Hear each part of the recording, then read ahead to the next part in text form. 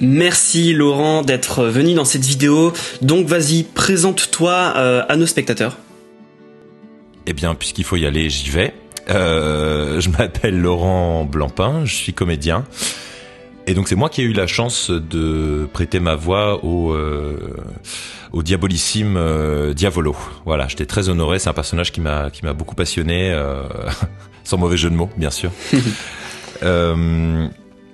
parce que il est, euh, il est, euh, il fait penser beaucoup à Richard III pour ceux que ceux d'entre vous qui, qui connaîtraient euh, un peu Shakespeare, qui est une très très grande pièce de, de Shakespeare. Je m'en suis beaucoup inspiré, c'est un de mes rôles préférés. Et euh, en fait, c'est quelqu'un qui pour moi est, euh, enfin, c'est une sombre merde quoi.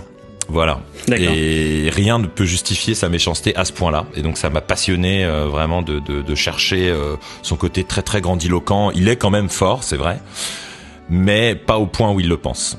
Et d'ailleurs, dès, dès que dès que ça va un peu moins bien, bah on le voit. Enfin, j'ai essayé que ça s'entende dans la voix, que il, il revienne un peu à ses origines de gamin de la rue, euh, son vocabulaire, euh, enfin pas son vocabulaire, mais sa manière de parler est, bien plus euh, street, quoi. D'accord, merci pour cette analyse. Effectivement, ouais, t'as as fait un très gros travail sur le personnage. Et au départ, en vrai, il y avait beaucoup de monde qui était sceptique quant à ton ton interprétation de Diavolo sur les quelques extraits qui apparaissaient. Au final, oui, tu as vraiment euh, trouvé la voix qu'il faut pour faire voilà le un personnage diabolique, un personnage euh, vraiment euh, comme est Diavolo en fait. Donc merci beaucoup pour pour ta prestation bah merci, super. Merci à toi, merci du compliment, ça me touche énormément parce que je sais que cette série est très attendue, était très attendue euh, en VF et puis bah euh, Alan Aubert euh, que je tiens à saluer encore une fois. Hein. je sais pas combien de fois je le ferai, je, probablement jusqu'à la fin de ma vie. Mais non, il m'a quand il m'a donné l'opportunité de faire ce rôle, on a on a vraiment pris le temps d'analyser le personnage pour faire ça bien et et de manière intelligente et, et oui c'est vrai que la première partie du coup c'est c'est quand même un gros gros teaser pour moi j'avais très très hâte que la deuxième sorte parce que c'est là où on l'entend euh, beaucoup plus quoi. Ouais, c'est vrai, la première partie, il a qu'un seul épisode à lui, et donc ouais, on a mmh. dû attendre vraiment quelques mois, je crois, il me semble, de, de entre mai et septembre, c'était assez long d'attendre oui. pour avoir vraiment ton. on était, on était vraiment impatient de savoir, euh, voilà, comment ça, ça allait vraiment retransmettre avec les, les gros Emperor Crimson. On avait déjà entendu un ou deux euh, sur l'épisode 21, 23, ouais. 24, il me semble. C'était pas les plus vénères, mais euh, mais ouais, c'était euh, c'était génial de, de vraiment complètement me lâcher euh, dans ce rôle quoi. Je l'ai je l'ai vraiment aimé. C'est un de mes rôles préférés euh, que j'ai fait en, en doublage de, de manga pour l'instant quoi. Vraiment, et je pense que ça le restera. Soyons honnêtes. Mais ça fait très plaisir pour pour nous les fans de JoJo. C'est vraiment voilà un très grand plaisir de savoir qu'un qu'un personnage est aimé comme ça. Euh, ensuite, deuxième question, euh, qu'est-ce que tu fais du coup en ce moment? Voilà, raconte-nous un petit peu euh, quels sont les projets sur lesquels tu participes. voilà. j'ai participé parce qu'en fait il y a toujours il y a toujours des mois de différence entre ce que je fais et, et comment et ce qui sort. Alors en manga, bah régulièrement je suis sur My Hero Academia. Il euh, y a une série qui sort en ce moment, euh, si je ne m'abuse, euh, Orient, dans laquelle je suis. Je fais quelques voix aussi. pas de rôles principaux pour l'instant. Et c'est vrai que le, le, gros rôle qui est sorti il y a finalement pas si longtemps, mais quand même quelques mois, c'est la version casée de Vinland Saga où là je, je fais le glorieux Torkel. Et ça, ça m'a plu énormément. C'est vraiment une personnalité qui en plus est quasiment proche de la mienne, à cela près que je ne découpe pas des gens avec avec deux haches. Voilà. Donc c'était assez génial, c'est un rôle assez sensible c'est un berserker fou. Euh, c'était vraiment un plaisir de le faire. Et vous pouvez m'entendre dans le film Jujutsu Kaisen où je fais quelques rôles, dont un rôle à la fin. Donc je ne me souviens pas de son nom, mais je sais qu'il les cheveux roses et qu'il est euh, il est très efféminé.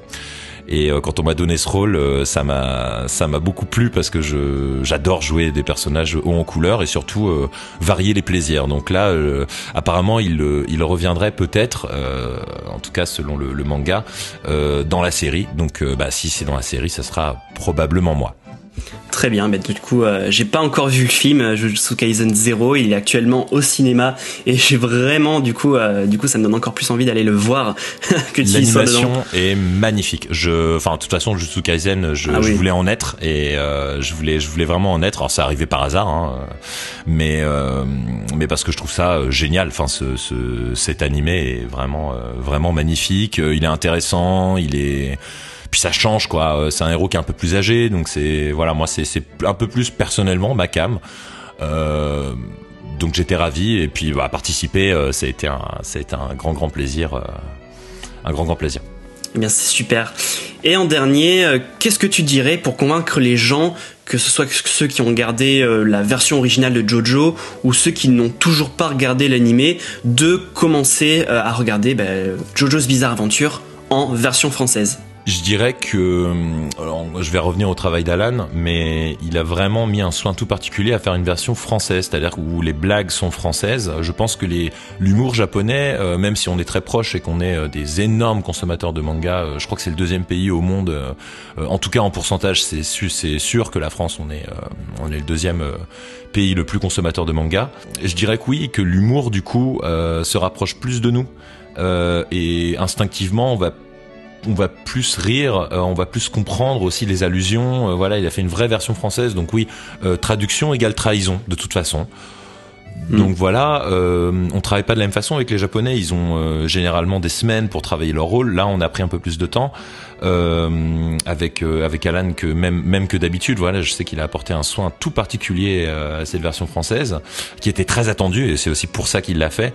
Pour ce qui est des, des versions françaises, euh, c'est une très bonne version française. Vraiment, euh, il a pris des comédiens, il les a il les a poussés à fond dans son délire. Il a il a fait vraiment sur un travail de, de direction artistique. Il a pris une direction. Voilà, il a pris des risques et je pense que ça a payé. Et moi, je serais toujours pour la prise de risque artistique parce que bah oui, euh, ça passe ou ça casse, certes, mais quand ça passe, c'est quand même super bien. Donc et là, c'est un exemple type que il euh, y, a tout Jojo qui va être fait en VF et ça sera toujours par Alan, euh, je pense. En tout cas, pour l'instant, c'est pas tout tout est fait par euh, Alan, donc il y a une une vraie continuité des personnages, surtout qu'il y a des personnages qui viennent au début et qui reviennent après. Là, je parle plus aux fans. Euh, voilà, Jean-Pierre Polnareff, tout ça. Et pour les nouveaux, bah, je dirais que vu comment on s'est donné et vu comment s'est donné le reste du cast que, que je salue en passant, euh, c'est vraiment merveilleux quoi. Moi moi je l'ai écouté, hein, j'ai tout revu en VF et j'ai pas été déçu. Ça c'est autre chose quoi. C'est même si j'adore la VO, je regardais quasiment pas en, en VF avant. Il euh, y a des VF que j'aime moins que la VO. Il euh, y a des VO que j'aime moins que les VF. C'est rare, mais ça arrive. On sent que parfois, voilà, ils ont pas eu le temps et nous on en a eu plus. ça peut arriver aussi, mais là, ouais, cette VF là est vraiment pour moi vraiment exceptionnelle. Et je dis pas ça seulement parce que je suis dedans. Je suis ravi d'avoir fait partie de ce projet. Voilà, c'est plutôt dans ce sens-là. Eh bien, c'est super. Nous aussi, on est vraiment très conquis euh, par cette euh, euh, version française sur l'ensemble des saisons. voilà, déjà, quand tu me parles de comédiens, je pense directement, par exemple, à des gens comme Frédéric Soutrel ou encore Emmanuel Curtil, vu que j'ai regardé, j'ai regardé la, la, la, partie 1 de la saison 2, donc Stardust Crusader de Jojo, et vraiment, et même beaucoup d'autres, Pascal Chemin, etc., qui, qui ont fait vraiment un travail incroyable. Et oui, on, on voit ce soin apporter déjà le, le temps, évidemment qui est mis euh, pour faire cette VF. Là, ça va faire bientôt un an en mai euh, que la partie 1 de, Golden Wind est sortie en VF. Et euh, franchement, alors, moi, les délais, c'est toujours trop long pour moi de toute façon, vu que voilà, c'est vraiment très très hypant d'avoir une VF. C'est vraiment quand j'ai regardé Jojo, c'était il y a deux ans.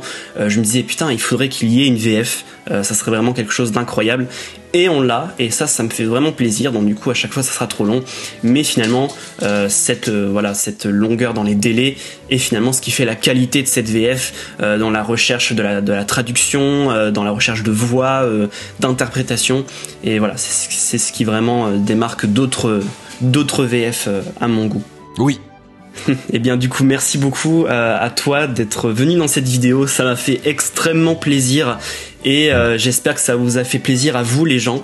Euh, en tout cas, on se retrouve un jour peut-être avec un nouveau comédien euh, de la version française de Jojo. En tout cas, voilà. Merci Laurent. Eh bien, merci à toi, Red.